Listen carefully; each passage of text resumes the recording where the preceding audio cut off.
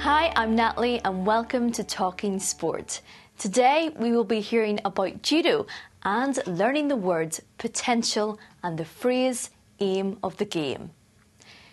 Judo is a martial art that started in Japan. This week, let's hear about judo from a member of the British judo team.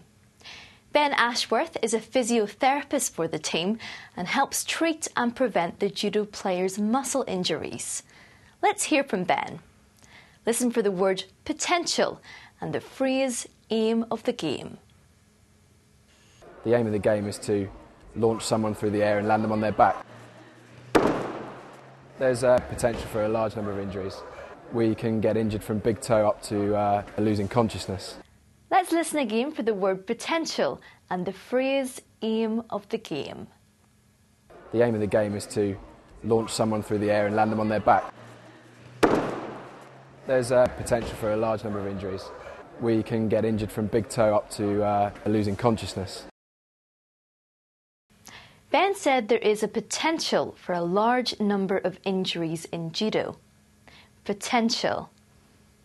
This word means there is a good possibility of something happening.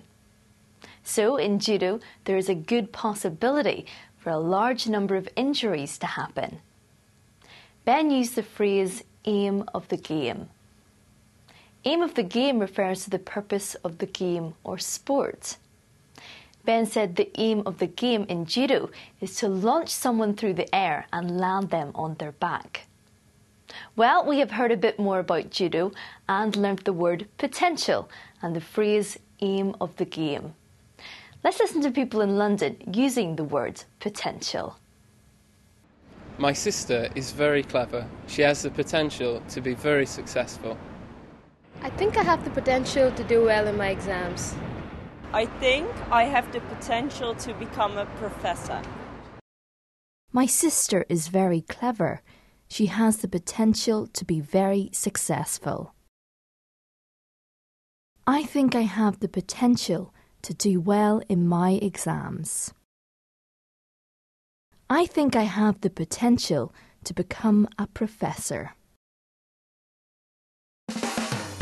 I'm Natalie, and that's all from Talking Sport. See you next time.